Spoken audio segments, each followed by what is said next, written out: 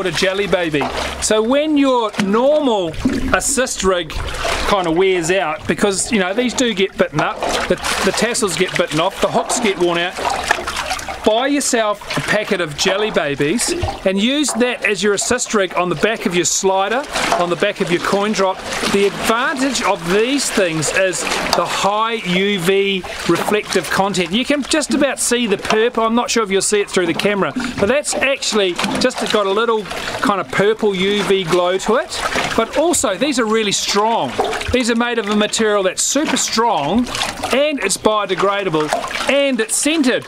So especially when you're in a situation, in a workup situation, or in a situation where the fish are just going off, if you try one of these on a coin drop or a slider, generally you'll catch bigger fish. And they last and last and last.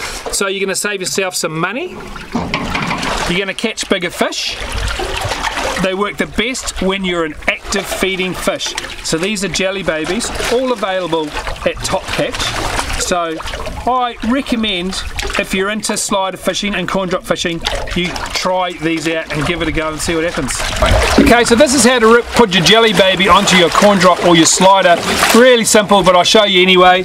Once again, make sure you get the coin drop around the right way. That's the front, that's the back. Poke the leader through.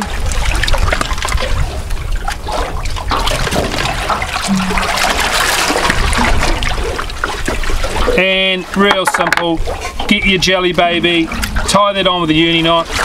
Four turns is enough. Once again I'm using 20 pound or 30 pound leader one two three four.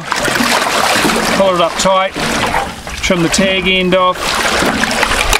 And there you have a coin drop with a jelly baby on it and that would be one of my favorite favorite favorite rigs is that colour combo there. This red glitter jelly baby really is a great performer. I'd like to show it to you in the water actually, see if we can get some UV glow happening. Oh yeah, doing it.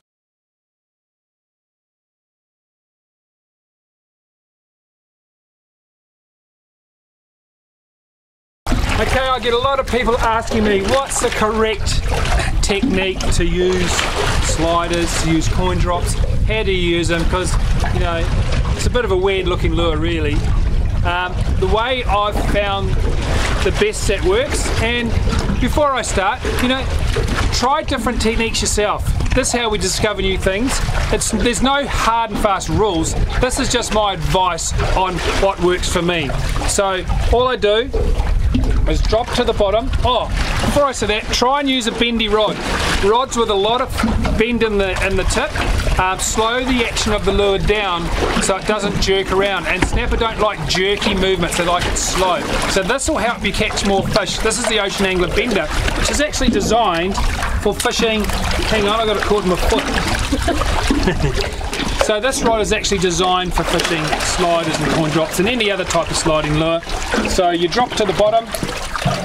I prefer to use an overhead reel. The reason being is you often get hit on the drop and so you can detect it when your line's going down with an overhead reel. So all the way to the bottom as fast as I can. I want to get it down there because that's where the snapper lives. And then if you think of the snapper um, as a kitten and you're trying to tease them up off the bottom, remember snapper call the bottom home. They get nervous as they come up off the bottom.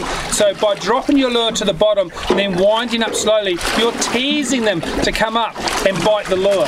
So it's on the bottom now. All I do is I wind the reel about one turn per second and I just wind, wind, about five times. Two, three, four, five. I had a little bite after about one turn then, so I'm going to go back down again and try. So he, he, that fish came up off the bottom, then he piked out and went back down to the bottom. He didn't chase it up very high. So he's still there. Not there. So a very simple technique. Try not to do um, fast movements like this. It's not jigging, it's Kabura fishing. Drop to the bottom, hit the bottom, wind up about one turn per second, use a bendy rod, and when you get a bite, which hopefully we'll show you later, when you get a bite, just wind a bit faster and lift the rod to set the hook. So that's how you do it. Real easy way to fish.